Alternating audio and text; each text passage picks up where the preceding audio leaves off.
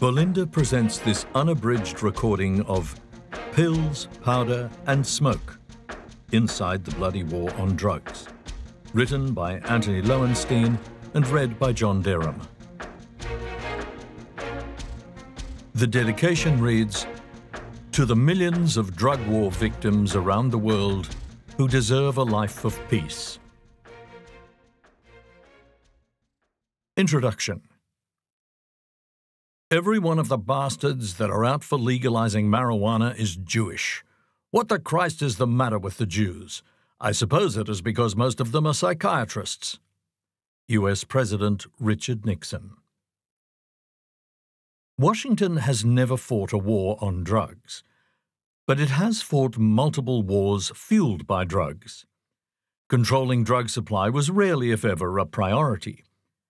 Understand this, and you get how powerful the drug war has been in the public imagination for over 100 years. Trillions of dollars spent, millions of lives lost, surging drug use and abuse around the world, and apocalyptic violence caused by illicit substances all look like failures. But don't be fooled. This was always the inevitable byproduct of trying to control an industry that's led by the insatiable appetite for drugs in every corner of the globe.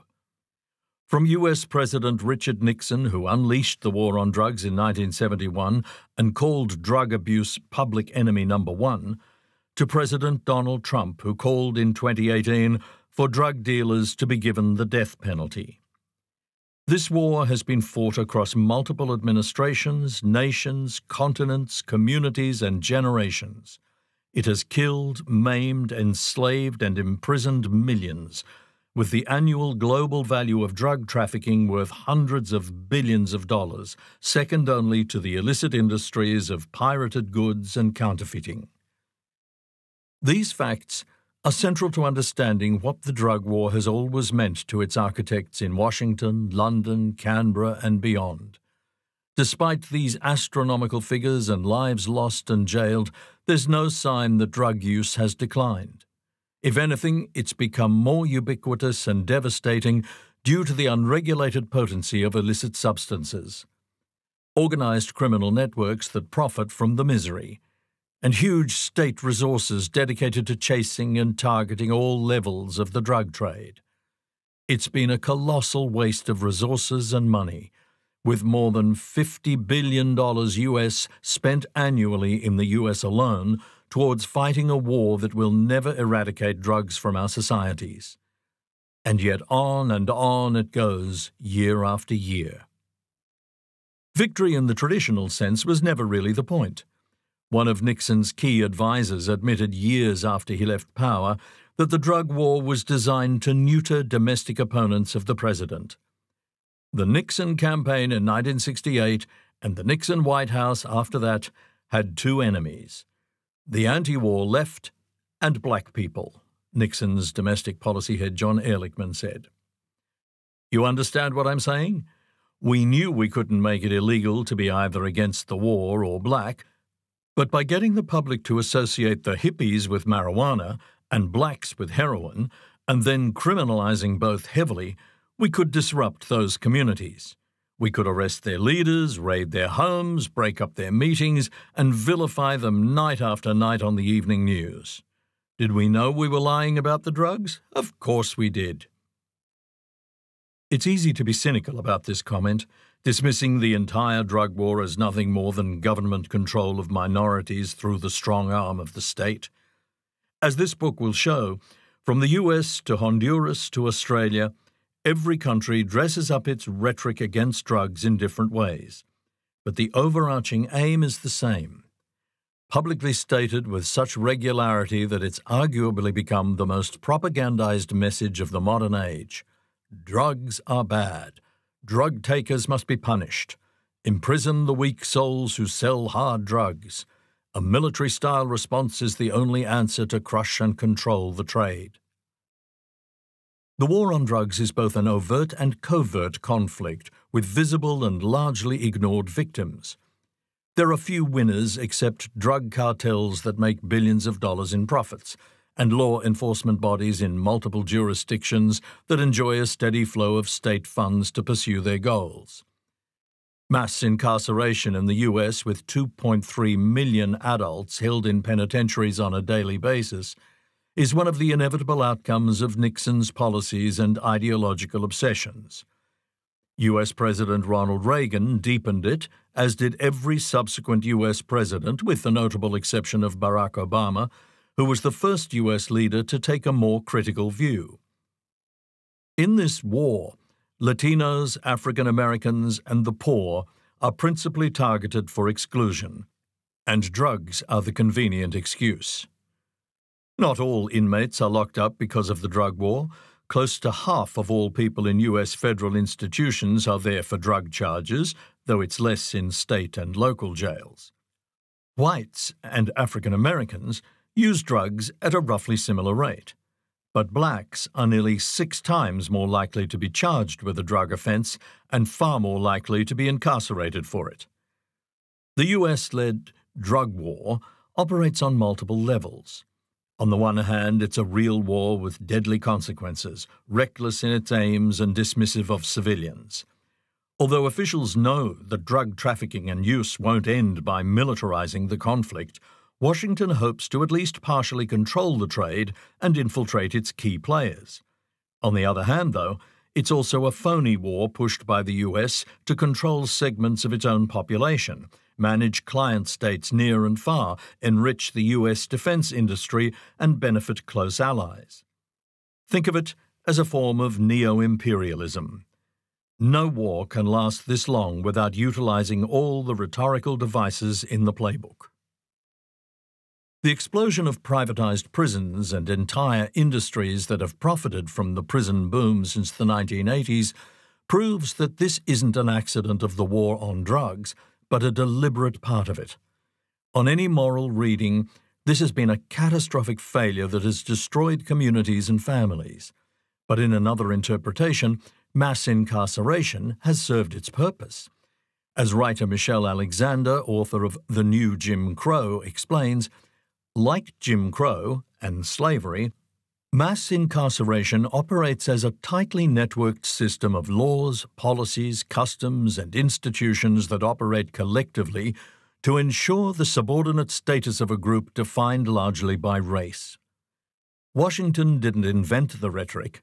During the Nazi era in Germany, illicit drug use was framed as menacing, with anti Semitic overtones.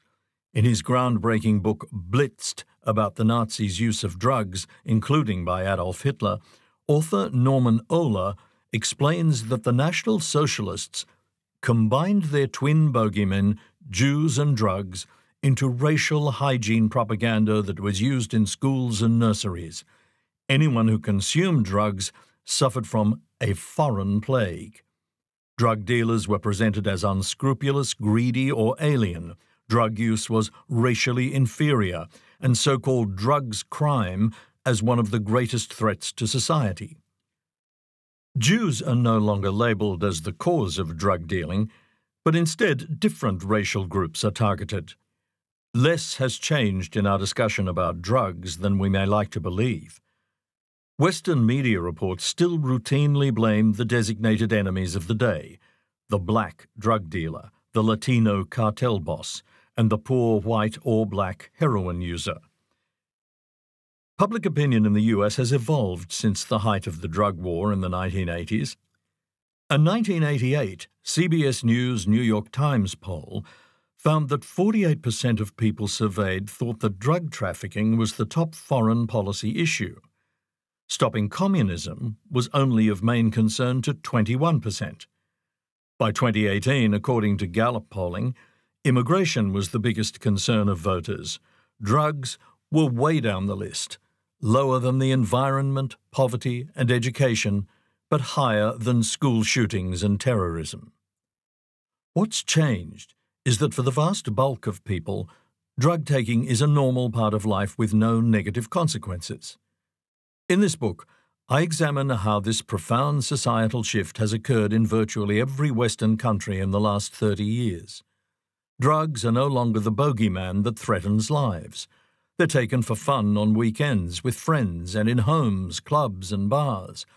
But too often, how drugs reach people and those who have suffered in their production isn't considered by those who take them. How about a movement that pushes for fair trade cocaine, heroin, and cannabis? The infrastructure of the war on drugs would collapse tomorrow if demand for cocaine, cannabis, ecstasy, methamphetamine, heroin, synthetic cannabinoids, opioids, or fentanyl suddenly stopped. But so long as humans have lived on planet Earth, drugs have been used and abused. Humans have been getting high on alcohol, opium, and magic mushrooms since prehistoric times. Many countries have been consumed by drug policies designed in Washington. Just think of Honduras, Mexico, and Colombia alone. These states aren't consumed by drug violence because locals are inherently criminal. Washington claims it's about stopping drug networks.